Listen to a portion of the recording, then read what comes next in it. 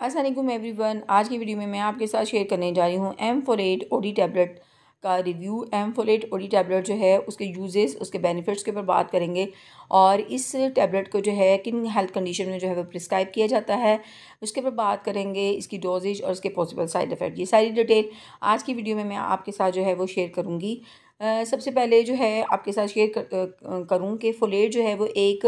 Naturally occurring जो है form है विटामिन बी नाइन की और फोलेट जो है वो ड्राइव किया गया है from the Latin word folium जिसका मतलब जो है लीफ है और जितनी लीफी वेजिटेबल्स हैं उनके अंदर फोलेट जो है वो मौजूद होता है। इन केस के अगर आपकी बॉडी के अंदर जो है इसकी डेफिशेंसी हो जाती है तो फिर जो है आपको जो है कुछ हेल्थ कंडीशंस जो हैं उनकी प्रॉब्लम जो हैं वो आपको हो सकती हैं। जैसे कि आपकी बॉडी के अंदर जो है रेड ब्लड सेल जो हैं, उनकी जो है कमी हो जाती है और आपको जो है मेगालोब्लास्टिक अनीमिया जो है, वो हो सकता है। तो उस चीज़ को प्रिवेंट करने के लिए, उस चीज़ को ट्रीट करने के लिए जो है डॉक्टर जो है फोलेट जो है सप्लीमेंट की सूरत में जो है वो आपको प्रिस्क्राइब करते हैं। और उन फोलेट सप्लीमेंट में जो बेस्ट सप्लीमेंट हैं that is M folate OD जो है वो सप्लीमेंट हैं। और इनकी प्राइस जो है वो भी बजट फ्रेंडली है और बहुत ज़बरदस्त तरीके से जो आपकी बॉडी के अंदर जो है रेड ब्लड सेल्स जो हैं, उनकी प्रोडक्शन को इंक्रीज़ जो है वो करते हैं। और उसके साथ साथ जो है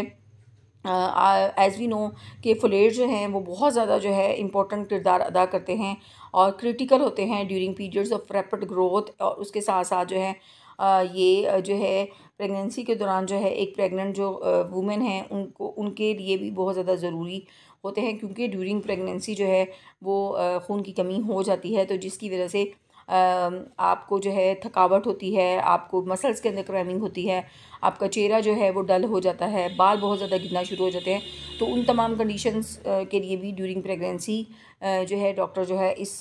सप्लीमेंट को जो है वो प्रिस्क्राइब जो है करते हैं। और प्रेगनेंसी के दौरान जो है जो फीटल की डिवेलपमेंट है, उस फीटल की डिवेलपमेंट के लिए भी फोलेट जो है बहुत ज़्यादा ज़रूरी होता है। और उस फीटल डिवेलपमेंट के दौरान जो है बर्थ डिफेक्ट्स को जो है प्रिवेंट करने के लिए जो है इस फोलेट का इस्तेमाल जो है वो इब्तदाई जो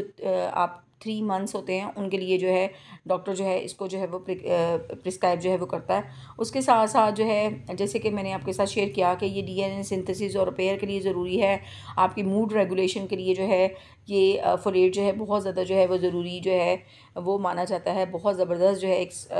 सप्लीमेंट है जिसको आपने जो है लेना होता है और इसको रोज़ जो है आपने एक टैबलेट, क्योंकि ये एम्फोलेट ओडी जो है वो टैबलेट की सूरत में अवेलेबल है तो रोज़ जो है एक टैबलेट जो है वो आपने लेनी होती है। आपकी हेल्थ कंडीशंस को देखते हुए, आपकी प्रॉब्लम को देखते हुए जो है डॉक्टर जो है इसको जो है प्रिस्क्राइब जो है वो करता है। और अगर हम बात करें इसके पॉसिबल साइड इफ़ेक्ट की तो इसके पॉसिबल साइड इफ़ेक्ट में जो है नोशिया है डायरिया है, गैस हो सकती है ब्लोटिंग हो सकती है these are the some side effects जो कि फ्लेट को लेने के बाद जो है आपको देखने में जो है वो मिल सकते हैं।